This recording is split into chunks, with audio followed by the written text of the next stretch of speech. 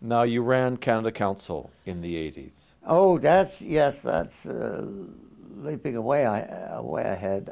I asked the question because I, would like to hear from you how public involvement in the arts, say through the Canada Council, how it can be important or how can be destructive to a, to a culture, to Canadian culture. Oh, tremendously, absolutely tremendously, because it gives it uh, gives voice to to uh, the public uh, need for this kind of thing. Um, I, uh, I, I first turned this job down when John Roberts, the Secretary of State, offered it to me um, because um, again I, I didn't think I was very good at politics. I didn't want to get involved in it. I was sick of it. Uh, but he then showed me the list of, came back to me a second time and showed me the list of the other possibilities if I declined. And every last one of them was a political appointment. Right. And that was when I said, oh, heck, all right. But I only took the job for three years instead of the customary five. I didn't want to get trapped in it. Um, but it was a fascinating time. We had a marvelous staff at the council. Um, and uh, we were able to do a great deal, especially with, with, during the time of the really sympathetic secretaries of state who were responsible for culture, like Maurice Lamontagne and Judy LaMarsh. Judy could do more with the rest of the house. Lamontagne was suspected by the house because he was an intellectual. Judy was a slob. And she played the slob. And nobody in the house would, would ever expect that Judy LaMarsh, you see, would, would take on such a, such a highbrow thing as, as pleading for the arts unless it was okay.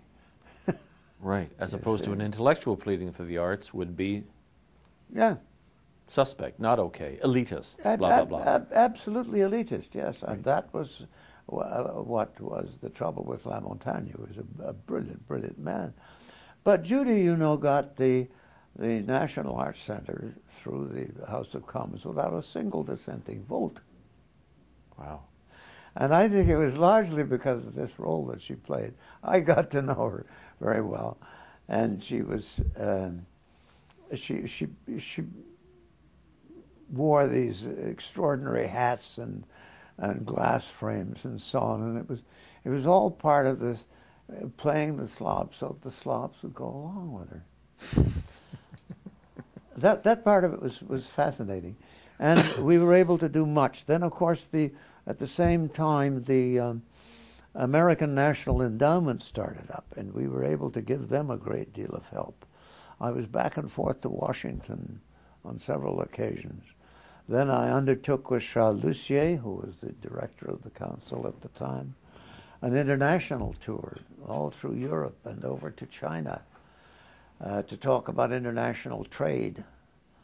Uh, I, I, put it in the context of international trade because that is how our government saw it. The Chinese saw it quite differently. The Chinese vice premier, uh, with, to whom I was introduced and uh, had a formal discussion with in China, had been in Canada, and uh, he, he said to me, nothing could be more important than uh, cultural exchange. Uh, I was so surprised to hear this coming because I, I, was expecting to put forward some notions about trade which had come for the Canadian counterpart. And we had the, the commercial attache in Beijing sitting there taking notes like mad. And he really was surprised and when I asked him as I got on the plane coming back to Canada, is there any message you want me to take back to Canada? He said, yeah. Will you please try and convince some for God's sake, that getting to know people has to come before doing business with them.